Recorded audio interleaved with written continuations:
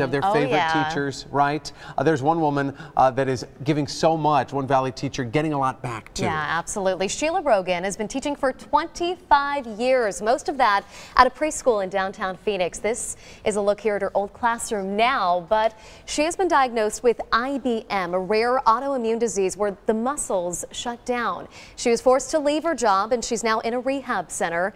After surgery and with mounting medical bills, her old coworkers, former students, and parents are stepping in in a big way.